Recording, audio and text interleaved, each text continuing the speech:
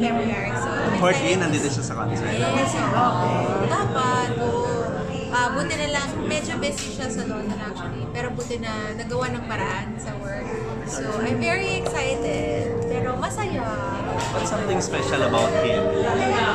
Alam mo, importante talaga sa mapapangasawa maka-choose. Ako sa lahat ng single ladies out there, you have to choose a godly man. Sobrang importante because life is already complicated. Feeling ko kapag hindi, hindi pareho kayo ng faith, medyo magulo po talaga. So ako, sobrang bait, very patient, um, very supportive. Naku, sobra. Mamimit niyo siya sa concert. Nag-viral dati yung prayer request mo na nag-grant, di ba? Yung sa paghanap. Ano yung ma-advise mo sa mga Sa ano, sa future husband, Ayun, yung mga di ba ganyan, sinulat ah. mo siya, parang yun ang nag-viral. Um, sa kanya po. What's the question? What's the Anong, anong ma-advise mo? Siyempre Valentine's, ano, Yes. Valentine's season. Sa mga single ladies, single men na gusto rin gawin yung prayer writing na ginawa. Uh, to all the single ladies out there, there's no such thing as the one. You have to be the one for that person. You have to prepare yourself to be the one. Ako na, naisip ko yan. Kasi dumating ako sa point na, ah, dami kong dinate, diba? Tapos dumating ako sa na, pagod na ako, lahat pare-pareho. Joke lang. Parang nasaktan talaga. Tapos sabi ko, ayoko na. Tapos nag-focus talaga ako nun sa trabaho, nag-focus ako sa, sa you know, growing spiritually. At dun, dun siya pinakita ni Lord na, "Ting!" Sinulat mo siya, di ba? Parang you wrote it down. Yes. That time, alam mo, first time kong ipag-pray, 20, that was 2016. Tw- first time ko pag-pray ang future husband. Never ko pinipipray. Ang lagi ko pinipipray, kung sino yung specific person na dinidate ko noong time na yun. Pero never yung future husband. Naalala ko, I was on the plane. I was writing, said ko, Lord, this is the first time I'm writing this down. Sabi ko, "Pre- prepare me to be, ano, to be a good wife, to be a good mom. And sabi ko, yung husband din, when you think I'm ready, Lord, pakita niyo na, Lord. Sabi ko, sabi ko, um, so yun, dun, nangyari lahat sa, sa New York. So yeah, to all the single ladies, huwag magmadali. o dahil ang Hoy, ano, Kate. so, dahil Kasi kaya single siya, kaya siya nagtanong. Kaya siya nagtatanong. Pero sa'yo talaga nang galing mo. Viral siya.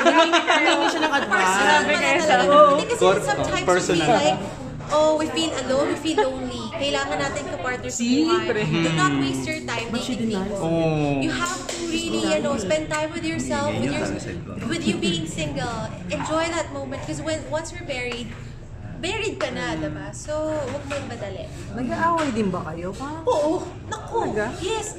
May kaya nga sinasabi ko lagi sa sa mga kaibigan ko na single, marriage is very hard. Sabi nga nila, di ba, sa book ni Tim Keller, ng uh, Meaning of Marriage, marriage will bring out the worst in your, worst in you, or the monster in you. Sabi ko, parang nga, no? Sabi ko, kasi talagang, you know, for, it's my eh, first time to live with someone. Si Martin din, first time namin na magsama talaga, makikilala mo sa isa, ako pala, ay, gusto ko talagang malinis, yung ganun. Ay, masungit pala ako, yung ang dami kong discover sa sarili ko. And marriage is wonderful kasi lahat ng negative, ano nyo, kumbaga, characteristic, mababago nyo eh. You have to change, you have to compromise. ano madalas yung Naku, pinagkakadiskusyonan? little things na pinag-aaway. Little things. Naku, example na lang, ah, paghugas ng pinggan. no, like, like, literally po, little things. Kaya, ako ina-advise ko talaga, it's good to marry someone first before you live with someone. Kasi nangyayari po niya na, na nagiging fast forward po yung mga bagay-bagay. Once, when you live with someone in, outside of marriage, ay ayoko na, na-discover ko na na ayoko pala siya matulog or ayoko pala siya yung cleanliness niya sa bahay, break na kami. ba And then, talo ang bahay. So, I, ako talaga, I'm very grateful na I waited for this time to live with someone na kasal kami because we don't have a choice. We have to live together kahit nag-aaway kami. Kahit na matutulog ka na, ayoko kausapin kasi galit ako. It's your pride. So you have to change that you have, yun talaga yung kaila, inaano sa akin ni Lord, ano, pride or uh, kailangan maging patient ka. And that's how you will grow as, you know, you're a team. You know, Marunong ka na magluto? marunong na ako magluto. Uh, buti na lang, um, before pa rin ako mag-asawa, marunong Ah, na. Kasi marunong na. 2014 ako nag-move sa London. Eh, mahal. Ay, oo nga pala. Mahal doon. So, you don't have a choice but, you know, to learn how to cook. Um, so, favorite ni Martin, mga Pinoy food. Kari-kari, ay, Ang hirap nun, adobo, no? Kari-kari. gising-gising. Gising-gising talaga. Oo. Alam niya na yung mga ganyang ano, putahe. Speaking of wife, sabi mo nga, di ba, nakausap, anong Si Sarah. reaction mo nung nalaman mong si Sarah ikakasal na rin?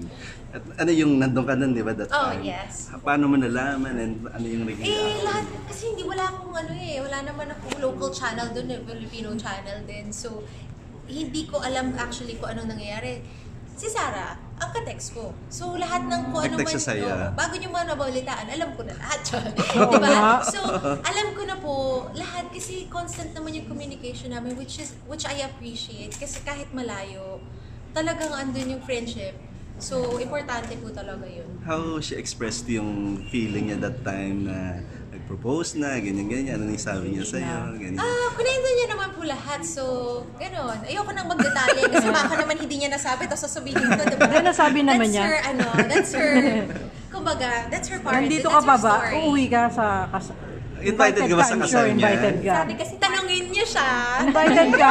Pero sabi March daw. Ikakasal Sino yung na. nagsabi? Sa mga news. Sa mga Yung mga news. news lang yan. Ah. Oo, hintayin natin sila magsalita. Pero, Pero kung, sige. kung sakaling invite, eh, kung sakaling invited ka, lalo, uuwi ka again. Kung invited ako. I'm sure invited Sure, ka. sure, invited ka, no? Baka nga meron ka pang ano eh. And hopefully, because I'm doing, you know, a show out there, hopefully, mahirap po talagang maka ah, makatakas sa, sa show doon. So hopefully talaga payagan kung, kung this year man, I don't know. Are you close with Mateo ba? Um, Or hindi masyado? Pa, hindi, kasi nga nung naging sila yata, wala Wala ka pa. Di ba nasa ibang Baka na bansa ka dito. na that time? Oo. Mm, Pero anong masasabi mo kay Mateo being a husband ni... I, don't- I really don't know him and I'm sure and I trust Sarah's instinct as well. So, you know, Mm. Yung mga advice mo kanina na nakwento sa amin, nasabi mo sa, i- isa yun sa mga nasabi ko. sa- lahat oo, kanda, oo, dami na naman mag-usapan. So, um, Pero ang galing no na parang you grew up na together halos sa industry tapos Oo, lahat sabay. kami. sabay yung mga Lahat, oo, pati si, oo, lahat actually, ng kasabayan namin, lahat parang kinakasal. Lahat. parang ito na ba yung oo, season talaga, no? Um, Si Eric parang oo.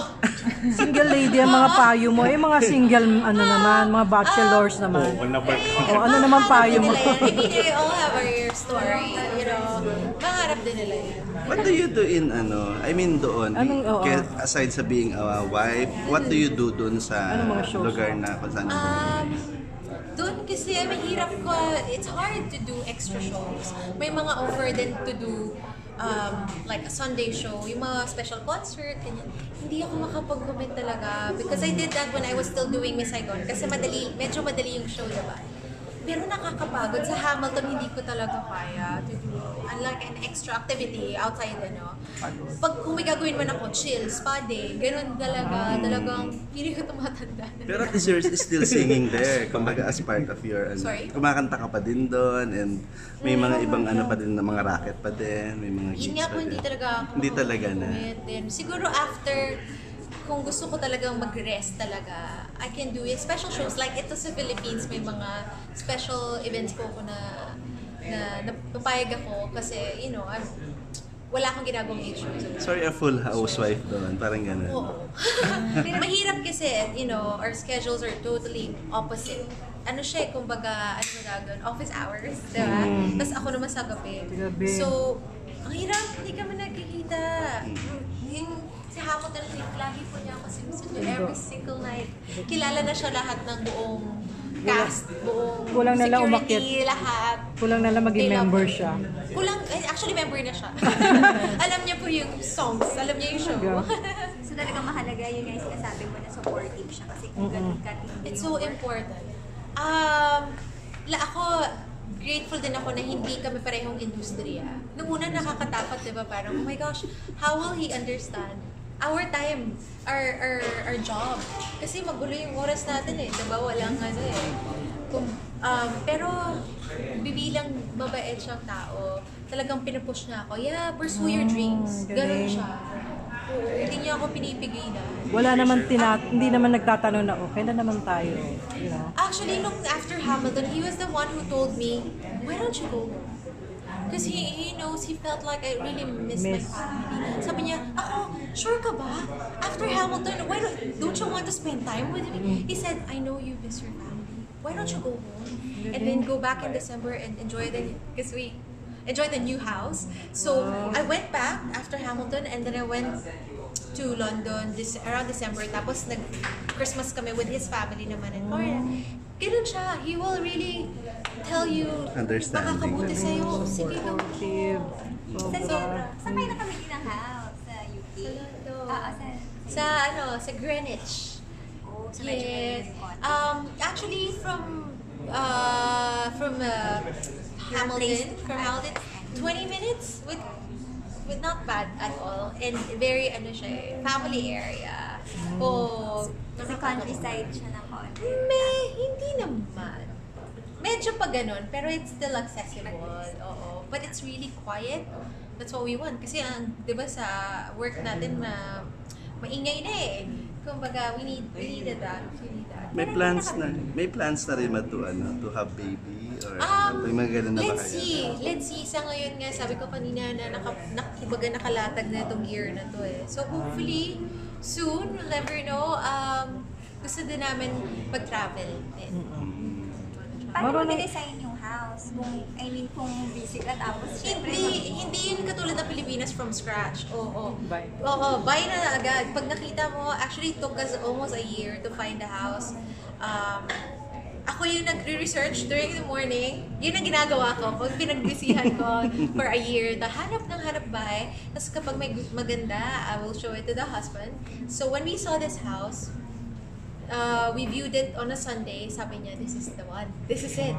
Ramdam mo yun eh, diba? Mag- Parang sa ano din, sa sa sa husband, future husband, ikaw talaga. Ramdam mo. Oo, may kabang. Oo. Pero yun, tapos mahirap pala, mahirap bumili doon. It's not easy because of Brexit as well. Ang daming paperwork na kailangan. Pero talagang alam mo, ang prayers talaga sobrang powerful. Sobrang bait lang ni Lord kasi hindi ko naman nakakalain makakabili ako ng bahay doon. Kasi mahirap talaga maghanap. And naka, naka-check ko talaga. Kung makala, fairness, syempre. May Pinoy din doon. Ah, meron na kaibigan, marami. Marami, Ah, marami na, oo. ba? Risha, describe mo naman yung yung house. Mhm. Kung gaano ka nakayaman mo ba na ngayon. maliit para hindi kasi wala namang helper, di ba?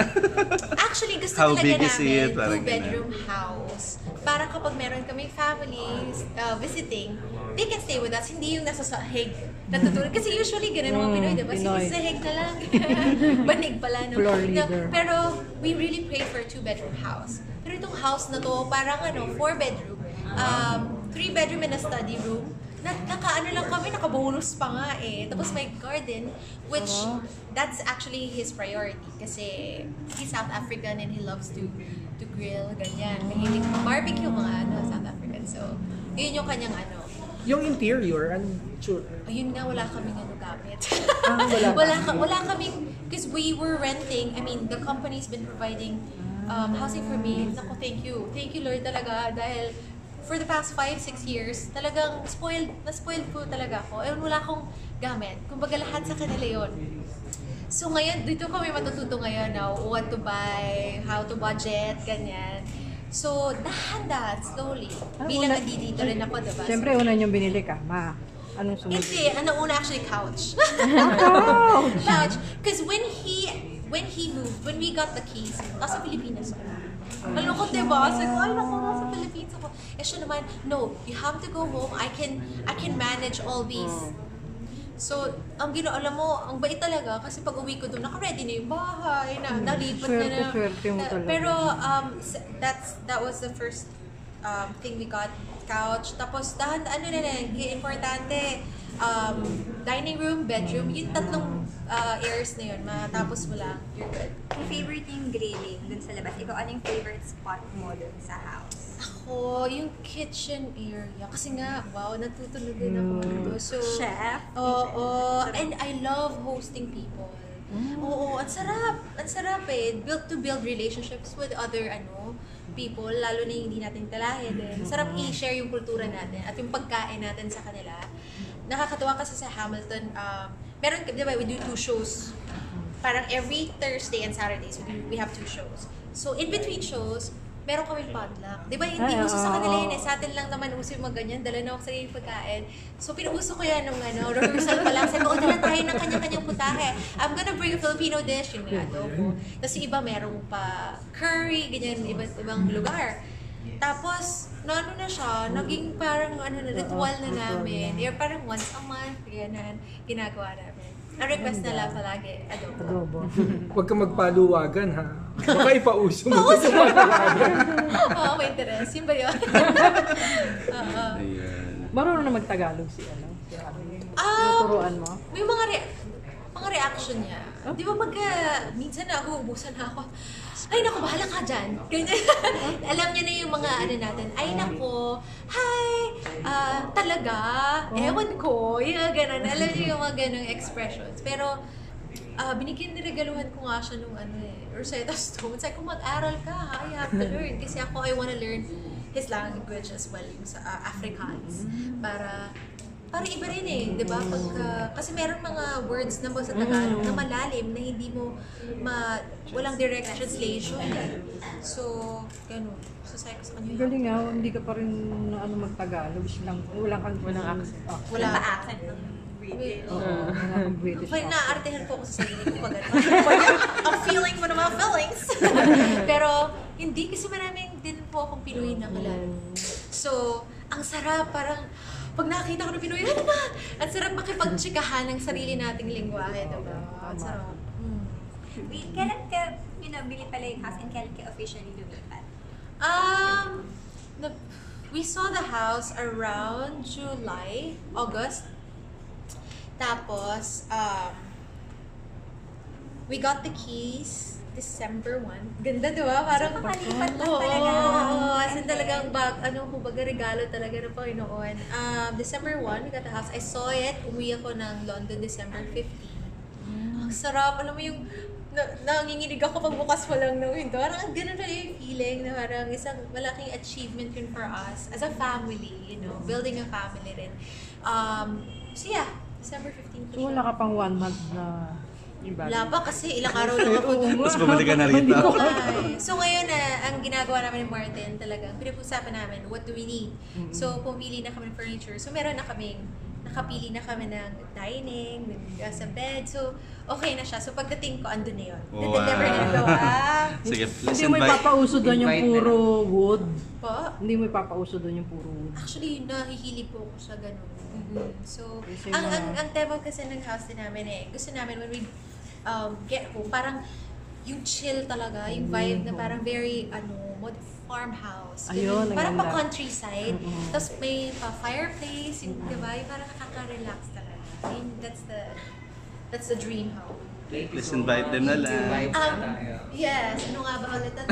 yes, yes um, I would like to invite everyone to watch my uh, Valentine concert. Uh, it's called Rachel Anka, The Homecoming at the Marriott Grand Ballroom Resorts World Manila, 8 p.m. po yan. So, sa lahat po ng uh, may mga ka-date o kahit single man, come and join me. I just want to share with you my story and my journey and let's just sing love songs together. Uh, my friends will be joining me, Eric Santos, um, Stephanie, and of course, Miss Leia Salonga. This is uh, directed by Direct Paul Basilio. Our musical director is Mark Lopez and yes, with a full Philharmonic Orchestra. So it's gonna be a lovely romantic night. So please come and join me. And yes, Miss and yeah, and get your tickets. So now, get your tickets at ticketworld.com. Okay? One, one, one po. Thank you so much. Thank you. Sure nga tayo.